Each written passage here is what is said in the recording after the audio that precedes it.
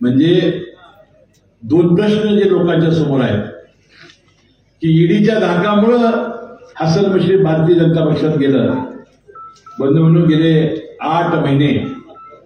कशा प्रकारचा आम्ही धैर्यानं मुकाबला केला किती धाडसानं मुकाबला केला याचं सगळं वर्णन मी ते विधानसभेच्या निवडणुकीच्या भाषणात करेन. मी आज ते करणार नाही.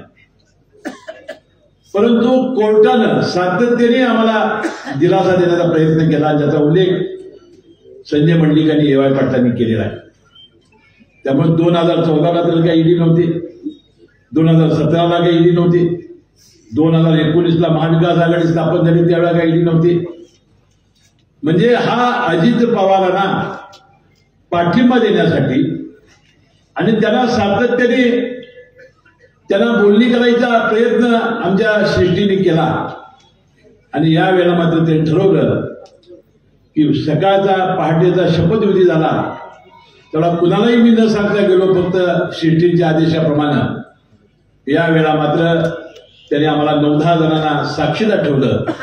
आणि त्यांनी सांगितलं की आता हे जर काम आपल्याला करायचं असेल तर तुम्ही माझी पाठ देणार असाल तर आपण सृष्टीचं ऐकूया. आणि मग ही बोलणी अंतिम टप्प्यात आली. पुन्हा निर्णय बदलण्यात आला.